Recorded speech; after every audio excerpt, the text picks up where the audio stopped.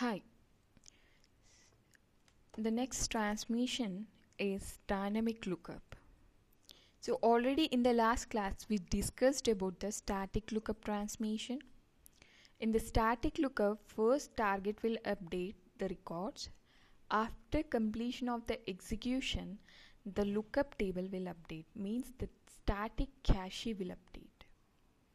But in dynamic case first lookup will update means that lookup dynamic cache will update then the records will update in the target. Okay? So I'll explain with the example with the mapping. So here I'm taking the same source and same target. Okay? Just I'm generating again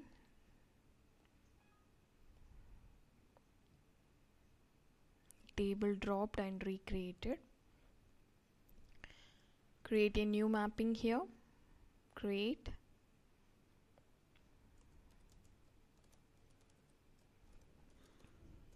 This is dynamic lookup. Okay? So first drag and drop source and targets. So here create the lookup transmission the same process. Create this lookup transmission on target. Okay. So in static just we drag and drop the first column the department number into the lookup transmission. But here we have to take all columns from source qualifier to lookup. Because here we are checking each and every column. Okay? Each and every column. If the record is present then we are checking the record contain any changes or not.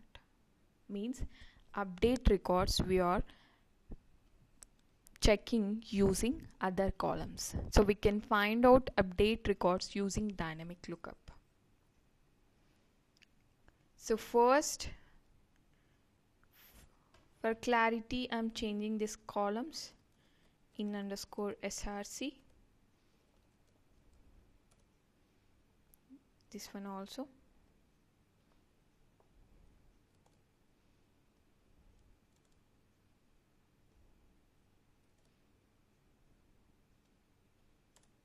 okay so these are only input. We are not using for any output from here. So go to condition create one d one condition on department number. So in ports you will you have to mention the associated ports. So currently it's uh, not enabled anything here because this is static lookup. We have to change into dynamic first.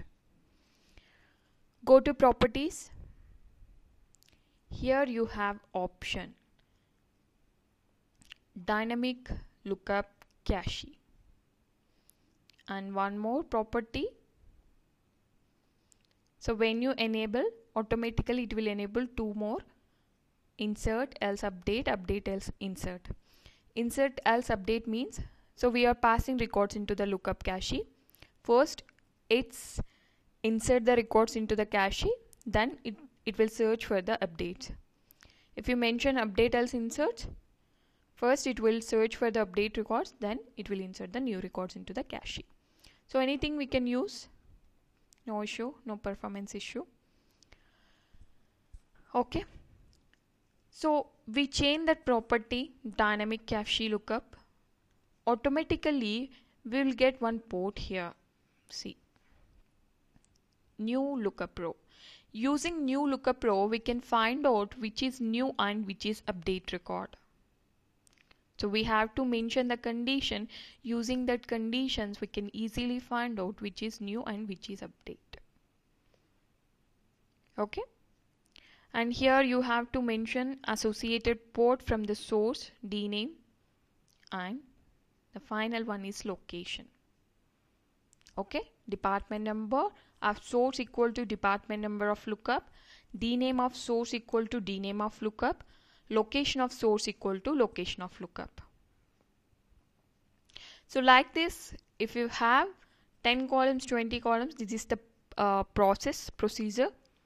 So we have to drag and drop all the columns from source qualifier to lookup. We have to give associated port for each and every lookup columns. Then apply. Okay. So lookup cache will update first, right? So that's why from lookup onwards we are taking only lookup columns. We are not taking any source columns because already cache is updating. We are passing source qualifier values into here. So based on this values based on the condition the lookup cache will update. The latest record information lookup contain always. So that's why from lookup we can take the values the latest information and we can pass it into the target. So before doing that we need to find out which is latest and which is old and which is update also. So that's why I'm taking a router to create multiple conditions. Drag and drop columns into here. Here we have to create two groups. One is for insert one is for update. Means new records and update records. Okay. new record. And this is for update record.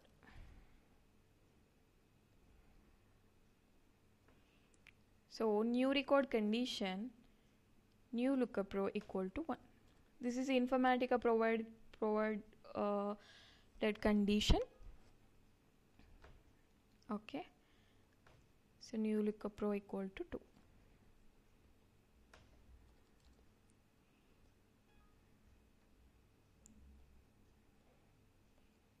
okay. So directly we can pass the values into the target table.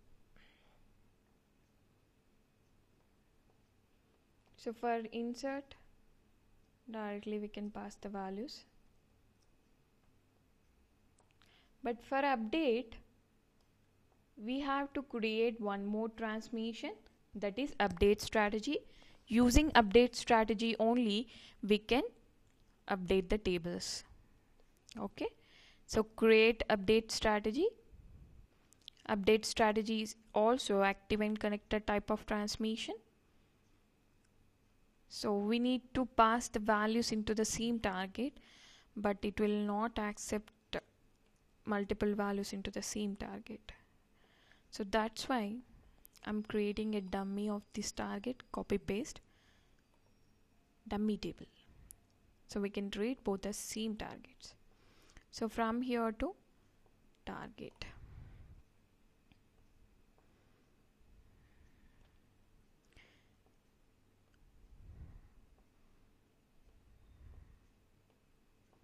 So here we need to update the condition that is dd underscore update. This is the keyword. Okay. If you want to insert any records dd underscore insert dd underscore update dd underscore reject dd underscore delete. These are the four keywords we have. Update delete insert reject. So now we are using this update strategy to update the target records okay that's why the keyword is dd underscore update. Validate this and save. Go to workflow. Create a new workflow here.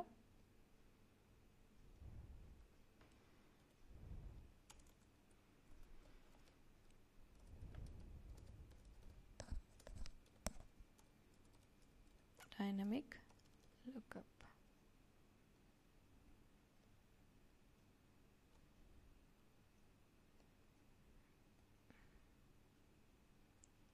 okay target connection source connection and lookup connection also required.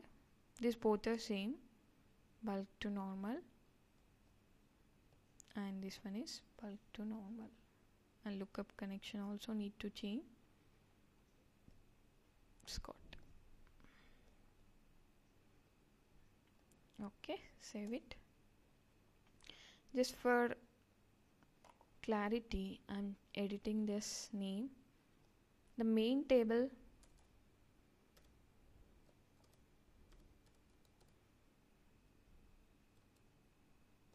this is the main target table. So we can modify these names no problem. So mapping have some changes so we have to refresh. See okay run it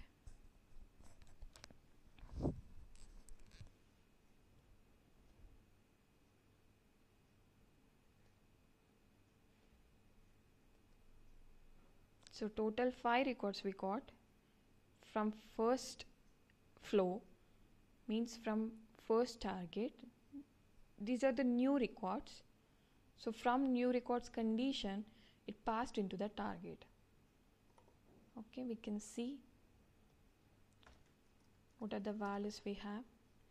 New York, Dallas, Chicago, Boston and US so in the source I'm inserting a new record and I'm updating a existing record.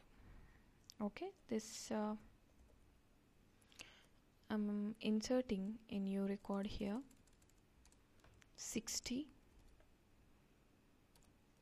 okay. HR department and this is in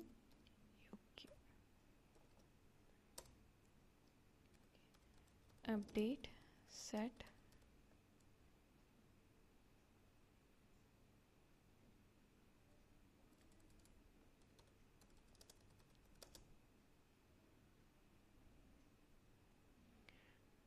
Here I am changing the department name D name equal to.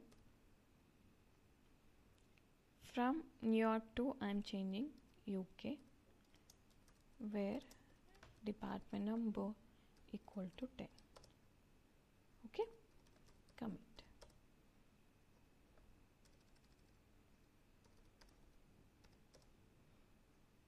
So one record inserted 60 UK and one record we updated.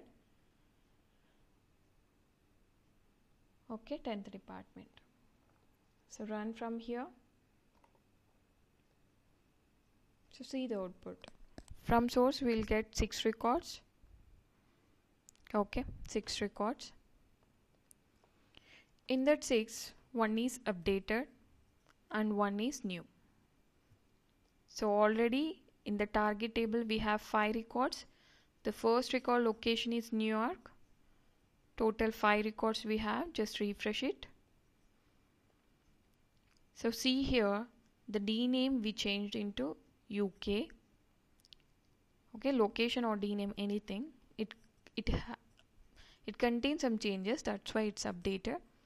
This is the new record 60 so like this we can find out latest and update records. So if it is not present in the target we can insert that record into the target. If it is present in the target we are checking for the updates. Okay? So the difference between static and dynamic the static cache will update after completion of the execution but the dynamic cache will update within the execution. Means dynamic cache will update first then target will update. Okay? And one more thing the static cache will update after the execution. That's why it's it will not identify the duplicates from the source table. But the dynamic lookup cache will update in the same execution record by record. If you got the same records means duplicate records from the source it will identify within the execution it will remove that duplicates. Okay? So these are the two differences we have between dynamic and static lookups. Next we can see the total properties of the lookup transmission and unconnected lookup transmissions also. Okay? Thank you